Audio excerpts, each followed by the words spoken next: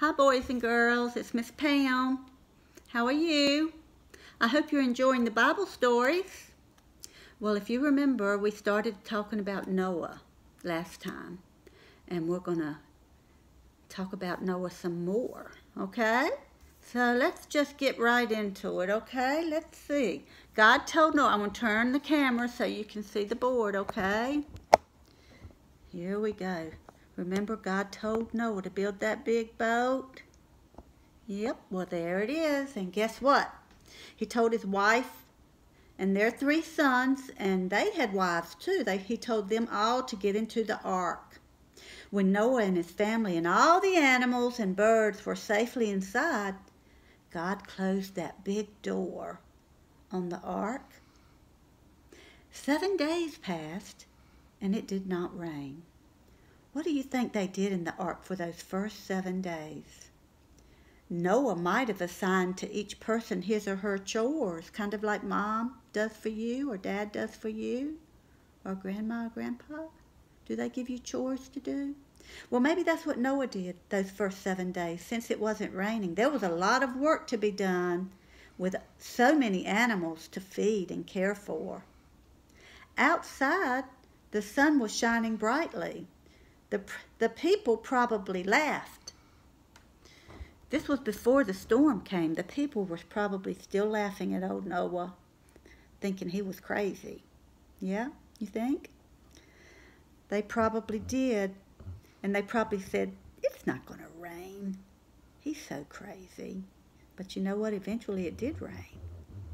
Let's talk more about that. Okay? But the first seven days it didn't rain. The sun was shining brightly. Maybe Noah even thought, maybe he thought he had maybe made a mistake. Maybe he really didn't hear what God said. Would the flood really happen? But he knew deep in his heart it would because God had said it would. He just didn't know when. Suddenly the sky got dark. See these dark clouds? The sky got dark and lightning flashed across the sky. It was frightening and deafening. Have you ever been in a lightning storm? There was one here just last week and it was scary. They're very frightening and they're very loud. The people had never seen rain before. It had never rained before until now that we know of.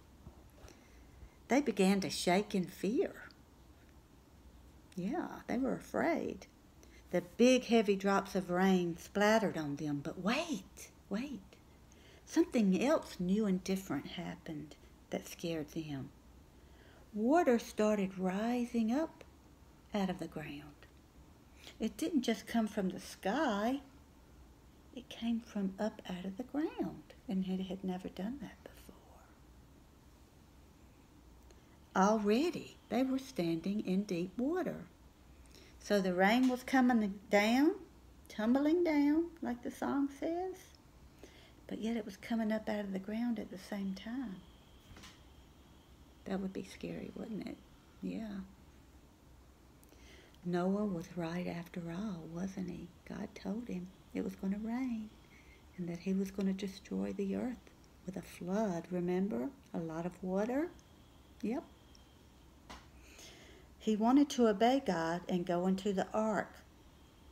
But we only laughed, the people said. We only laughed at Noah and we thought he was crazy. They rushed to the ark. So they all rushed to the ark because they wanted to get into the ark, right? At first they thought he, Noah was crazy, but now they wanted to get in. Let us in, Noah, let us in. But it was too late. Noah and his three sons could not open the door. Do you remember? God's the one that opened the door, and God's the one that closed the door. Remember? Yeah, only God can open that door. And God had given them every chance to get into that ark. Remember, Noah told them for years, it's going to rain and God's going to destroy the earth. And they laughed at him. Yeah. They, they chose not to get into the ark. That was their own choice. And then when it was too late, God had sealed up that door right there. He sealed it up and they couldn't get in. Even Noah and his sons couldn't open it. Only God could open that door. The rain fell night and day without stopping. It came down in torrents. That means in like buckets of rain, lots and lots of rain, and flooded the streams and the rivers. The water began to rise higher and higher.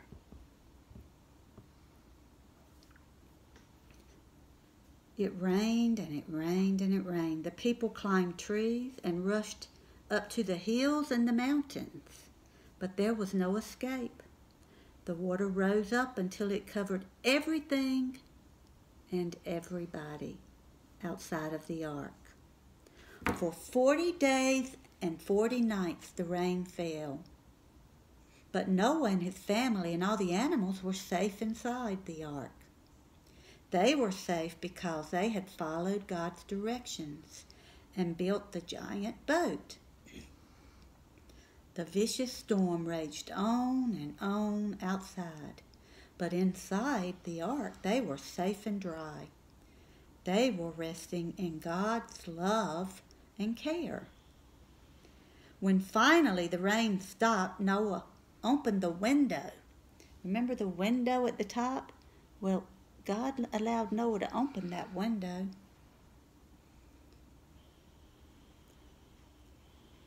See that little window? There was nothing to see though when he opened it. He opened that window, but there was nothing to see but water. Everywhere he looked, there was nothing but water. So that meant no one could leave the ark yet. One day, Noah set a free a raven, then a dove. When the dove came back with some fresh leaves in her beak, Noah smiled. Plants are beginning to grow again. He said, It won't be long until we can leave the ark. God wants us to have a good life, but we must follow His directions and obey like Noah did. God always knows what's best for us, but we just have to obey what He says, even as little kids and big adults. Mm-hmm. And He always gives us lots of chances. We might reject God or His Word or His things that he says and the way he lived, but he always still loves us and he wants us to obey. And he wants us to listen to him, just like you listen to your mom and dad. You know how sometimes you don't listen to your mom and dad and you get in trouble? Yeah. If we don't listen to God, eventually we're going to get in trouble. Yeah just like the people that were in the ark. Remember the people in the ark? They didn't listen to Noah. And who told Noah? It wasn't just Noah talking. God told Noah to tell the people, didn't he? And they didn't listen. So that's why it's important, boys and girls, for us to first to know God. Do you know God? You know He can be your very best friend. All you have to do is ask God to come into your heart. Yep, just say, Jesus, come into my heart and live and help me to live for you. Forgive me for my sins. Remember, that's when you're bad. And help me to be the person and the boy or the girl that you want me to be. Amen. And He'll do it. He will. And you know what? You just need to, when you get older, you read the Bible. This is God's Word. It's like a map, it's like a treasure chest and it's got all kinds of things in it to help us to live a good life. It shows us the good choices and the bad choices. Because there were some people that made bad choices, and it shows us what happens when you make a bad choice. So today, I, I just want you to realize that Noah and his sons made a good choice, and their wives, and Noah's wife, but there were people that made bad choices. And it still happens today. It still happens today. And that's why Miss Pam's here to help you to make a good choice. Okay? Okay, well, that's all of our story for today, but we'll be back tomorrow and something special going to happen. You'll see. Something that you see today, too. We'll talk about it, okay, tomorrow? All right, let's say a word of prayer, and then I'll let you go and enjoy the rest of your day. Father, we just thank you, Father, for everything you do in our lives. We thank you for the Bible stories you give us to help us to know how to live the life that you would have us to live. Help us to listen to what you say, Father, and help us to obey. And if there's any boys or girls or moms or dads or grandmothers or grandpas or, or friends or relatives that don't know you, Jesus, help them, Lord, to know that you're waiting for them that no matter how many mistakes they make or whatever they do, that you're always patiently waiting for them to listen and to obey. And so, Father, once again, thank you for our, our, Bible story today and all the stories in your Bible. And Lord, we just look forward to each day, the one that you give us. Thank you for Jesus. And we love you, God. Amen. Okay, boys and girls. That's today's story on the big flood. And tomorrow we'll be back and talk about the conclusion to the big flood. Okay? All right, you guys go and have a wonderful day. And remember, Miss Pam loves you, but God loves you more. All right. Bye bye.